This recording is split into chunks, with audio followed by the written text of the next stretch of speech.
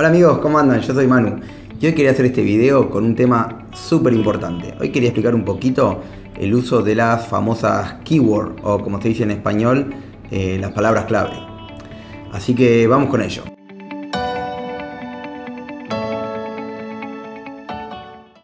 Bueno, empecemos por la definición de lo que es una keyword o una palabra clave. Una palabra clave es una, descripción de nuestro producto, una palabra que describe a nuestro producto. Por lo tanto, es súper importante para nosotros posicionar en el producto, ya, sea de manera orgánica, que cuando un, cliente de Amazon eh, está buscando un producto encuentre el nuestro, o si no para eh, setear campañas de PPC, como lo hemos dicho antes. ¿Y por qué es muy importante eh, el hecho de setear bien las palabras clave? Bueno, es muy importante porque cuando la gente busca un producto, si nosotros lo asociamos a palabras clave que no, que no identifican el producto de manera muy exacta, por ejemplo, eh, tengo que vender esta remera y pongo remera solo, es muy, muy global.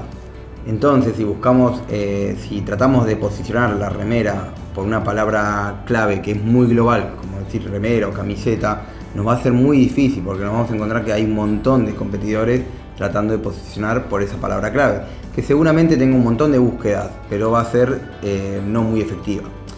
Entonces, para resumir un poco hasta acá, las palabras clave nos, nos permiten posicionar nuestro producto, ya sea de manera orgánica, o sea, que eso lo vamos a hacer utilizando, utilizando las palabras claves en el listing y en el título y en los bullet points del producto, y de manera paga, que es a través de la campaña de PPC, que es seteándola. Entonces, es muy importante que tratemos de buscar eh, palabras más específicas, palabras que no tengan tanta demanda, pero que sean más efectivas, ¿no? que representen nuestro producto de manera más exacta, ¿no? como por ejemplo, eh, volviendo al tema de la remera, puede ser haciendo descripciones del estampado, de qué clase de estampado es, de la tela, del color por supuesto, y nosotros si tratamos de posicionarnos por palabras clave que tengan menor tráfico, pero que sean más exactas, que si una persona pone remera gris eh, de algodón con estampado rojo, le aparezca nuestra remera como una primera opción.